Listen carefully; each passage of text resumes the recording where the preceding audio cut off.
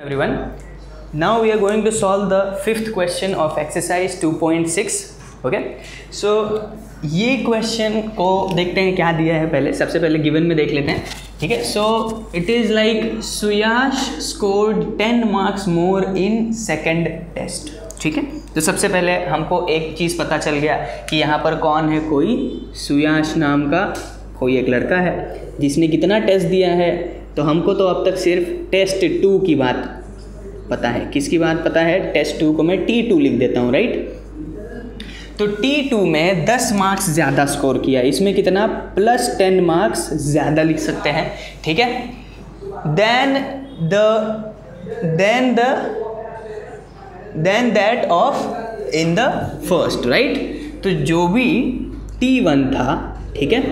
Test one. इसमें मान लीजिए जो भी स्कोर इन्होंने किया था that was X marks right जो भी टेस्ट वन में स्कोर किया था, उसको मैं क्या बोलूँगा? एक्स तो टेस्ट टू में कितना? एक्स से दस ज़्यादा। एक्स प्लस टेन स्कोर कर दिया। बराबर है? सिंपल था। सबसे पहले क्या बोलता है? Suyash scored ten marks more दस मार्क्स ज़्यादा स्कोर किया। ठीक है? फ़र्स्ट टेस्ट से। तो अगर फ़र्स्ट टेस्ट का जो मार्क्स है, वो मैंने पकड़ लिया। एक्स है तो सेकेंड टेस्ट का क्या हो जाएगा? एक्स प्लस टेन, बराबर है? सिंपल। उसके आगे देखते हैं क्या है। Five times the score of the second test right है? नाउ क्या बोला? Five times the score of the second test ठीक है तो सेकेंड टेस्ट का क्या था स्कोर सेकेंड टेस्ट का स्कोर था ये, x प्लस टेन ठीक है? तो five times score of the second test five ये करली ब्रैकेट का मतलब होता है मल्टीप्लाई राइट तो five times the score of the second test is the same is the same बोला मतलब इज़ इक्वल्स टू बराबर? Is the same as the square of the score in the first test ठीक है? तो जो भी five times था five times the square of the sorry five times the second test, जो भी सेकेंड टेस्ट था, उसका पाँच गुना अगर ज़्यादा किया जाए तो वो किसको इक्वल था? जो फ़र्स्ट टेस्ट का स्कोर था, उसके स्क्वायर को, बराबर? तो फ़र्स्ट टेस्ट का जो स्कोर था, वो क्या था? एक्स राइट जो भी फ़र्स्ट स्कोर था, वो क्या था?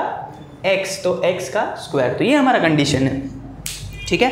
अभी कंडीशन बहुत सिंपल सा था। Now how we are going to solve it तो सबसे पहले हमको बोलना पड़ेगा let the marks of Suyash in first test in first test be x marks right ठीक है देर फोर सेकेंड टेस्ट में कितना हो जाएगा therefore the marks of second test will be X plus ten सही है? बराबर। अभी क्या था? अभी हमारा गिवन कंडीशन है। अभी कंडीशन ने क्या बोला था? तो डायरेक्टली लिख दो यहाँ पर according to given condition according to given condition ठीक है? कंडीशन के हिसाब से क्या बोला? Five times the score of second test, right? 5 times the score of the second test is equals to or is same than the square of the first test ठीक है, जो भी फ़र्स्ट टेस्ट का स्क्वायर था, वो किसको equal है? Five times the second test बराबर? अभी क्या हो जाएगा? Simple maths calculation five X plus fifty is equals to X square बराबर है? तो अभी इन दोनों को उधर ले लो, एक क्वाड्रेटिक इक्वेशन बन जाएगा एक्स स्क्वायर ये प्लस फाइव एक्स है, इधर जाएगा तो माइनस फाइव एक्स और ये प्लस फिफ्टी उधर जाएगा तो minus fifty is equals to zero ठीक है? इधर सॉल्व कर लेते हैं। तो इधर हमको क्या मिला? जो क्वाड्रेटिक इक्वेशन है X square minus five X minus fifty is equals to zero तो सबसे पहले कंपेयर करो, देखते हैं क्या ये स्टैंडर्ड फॉर्म में है? हाँ ये स्टैंडर्ड फॉर्म में है। तो जैसे पता चल गया ये स्टैंडर्ड फॉर्म में है तो क्या करना है सबसे पहले? जो एक्स स्क्वायर का कोएफिशिएंट है, उसको कांस्टेंट नंबर से मल्टीप्लाई किया।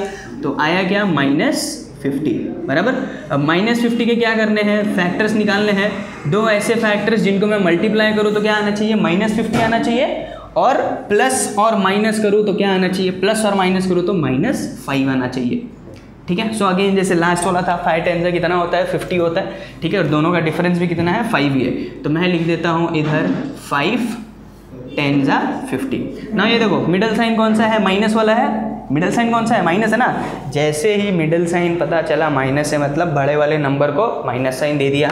ये लो माइनस साइन और छोटे वाले नंबर को plus sign simple now therefore अभी X square plus five X minus ten X minus fifty is equals to zero ठीक है, ये दो अंडरलाइन ये दोनों अंडरलाइन उसके बाद क्या बचा इधर?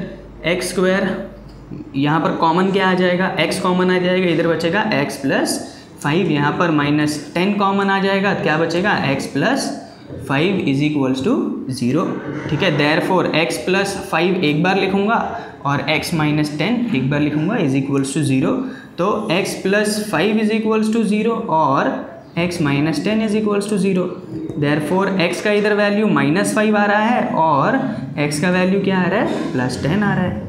सिंपल। अच्छा मार्क्स कभी भी नेगेटिव में नहीं होते हैं, ठीक है? तो हम लोग बोल सकते हैं therefore marks can not be negative बराबर? Marks can not be negative therefore X is equals to ten लेकिन ये x क्या था? x था टेस्ट वन में स्कोर करने वाला मार्क्स बराबर है? ठीक है? देर फोर अभी टेस्ट टू का मार्क्स क्या हो जाएगा? यहाँ पर आप डायरेक्टली x प्लस फाइव का मार्क्स निकाल सॉरी एक्स प्लस टेन निकाल लीजिए तो ये सेकेंड टेस्ट का मार्क्स मिल जाएगा which is nothing but ten plus ten मतलब ट्वेंटी बराबर? तो सुयाश का जो मार्क्स था, इसमें टेस्ट वन में ये कितना आया? टेन मार्क्स आया, बराबर?